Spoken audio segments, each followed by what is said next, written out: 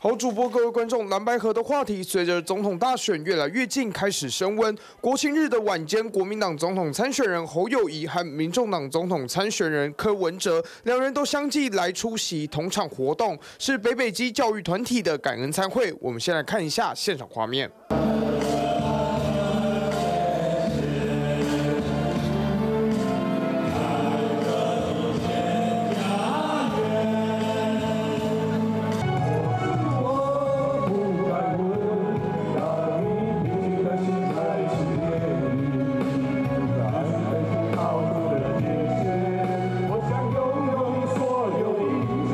过值得注意的是，蓝白两党的总统参选人是一前一后到场。国民党的人致辞完离开了现场，民众党柯文哲的人马才陆续出现在台上致辞。因此，蓝白双方的总统参选人并没有碰头。以上现场最新消息，再把时间镜头交往棚内。